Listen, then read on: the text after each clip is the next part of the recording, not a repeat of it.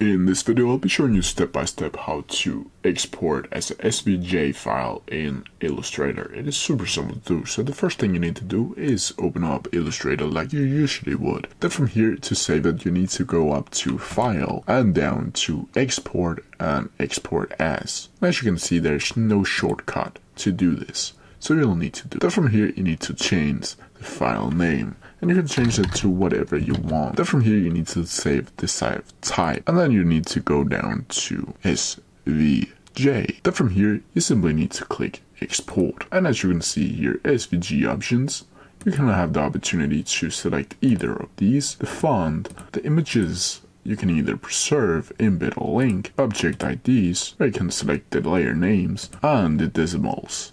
You can also minify or click responsive. You can also click show code if you want to do that. Then when you're done doing that, you just need to click OK. That's how you do it. If you have any questions about it, please leave them down in the comment section below and I'll try my best to answer them as quickly as possible.